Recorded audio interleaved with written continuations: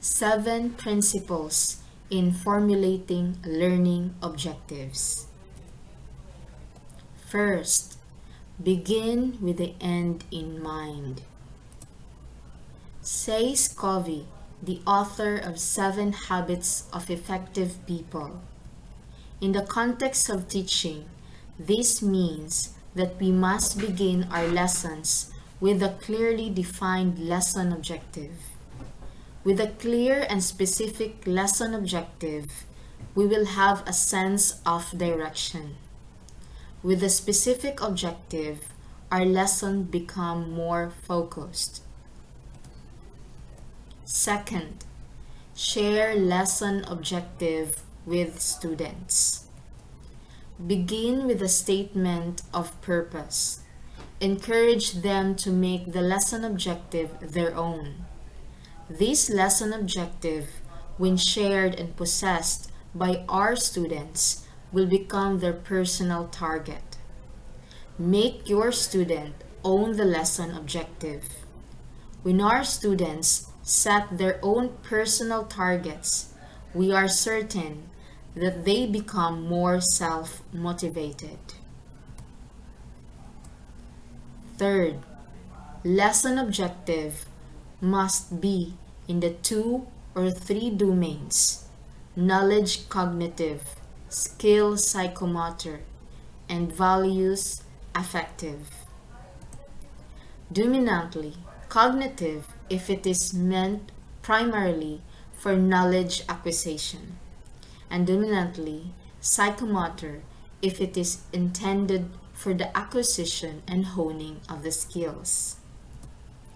Lesson objectives in the affective domain are mainly focused on attitude and value formation.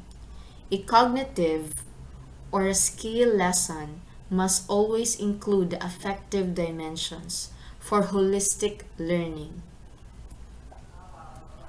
What is most important, according to this principle, is that our lesson is holistic and complete because it dwells on knowledge and values.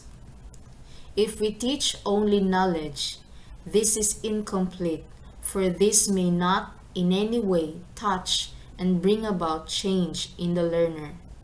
We may end up with more head knowledge that is measured in tests then completely forgotten after the test. If we teach only skill unaccompanied by values, we may contribute to the formation of people who will have all the skills to oppress, to abuse, and to take advantage of the unskilled. So it is necessary for our that our lesson gets direction from objectives in the two or three domains, with the affective domain always present. Fourth, work on significant and relevant lesson objectives. Our lesson objective becoming our students' lesson objective too. Our students will be self-propelled as we teach. The level of their self-motivation all the more increases when our lesson objective is relevant on their daily life, hence significant.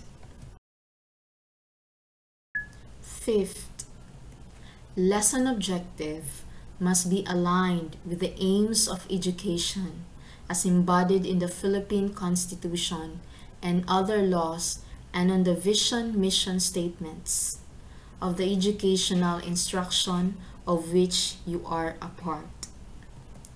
The aims of education as enriched in our fundamental law of the land, in the Education Act of 1982, the 10-year medium-term development plan must be reflected in the vision mission statements of educational institutions must be filtered down to the course objectives stated in course syllabi and in lesson objectives laid in lesson plans.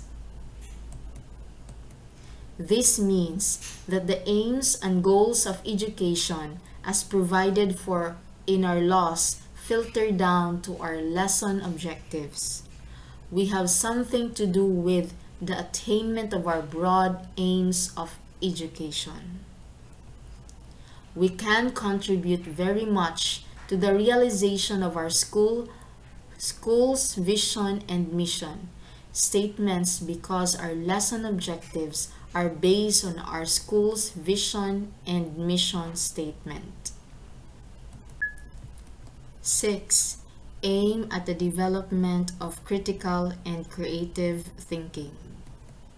If we want to contribute to the development of citizens who are critical and creative thinkers, the type of citizens needed to make democracy, then we should include in our scope of questions high-level, divergent, or open-ended questions.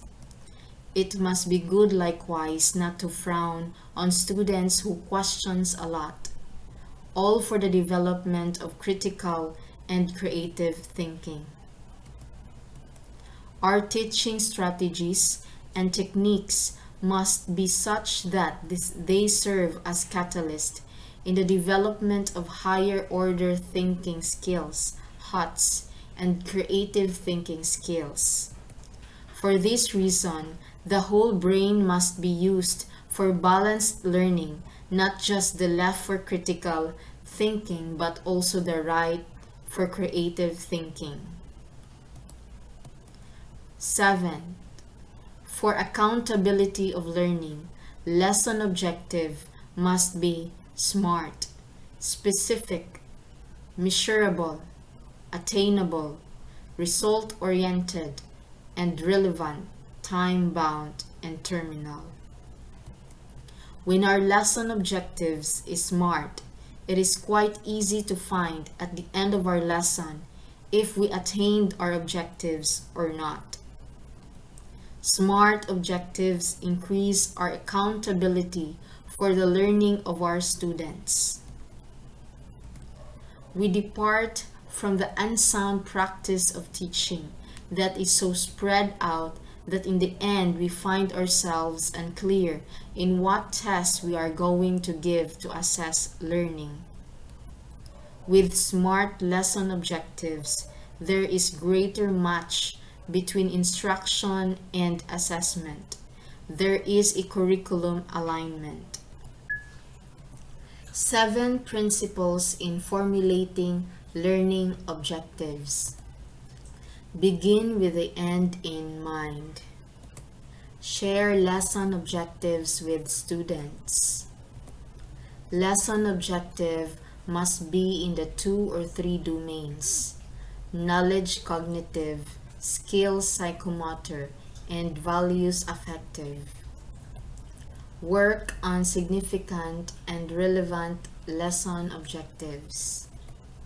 Lesson objective must be aligned with the aims of education as embodied in the Philippine Constitution and other laws and on the vision mission statements of the educational instruction of which you are a part. Aim the development of critical and creative thinking. For accountability of learning, lesson objectives must be SMART, specific, measurable, attainable, result-oriented, and relevant time-bound and terminal. That's the seven principles in formulating learning objectives.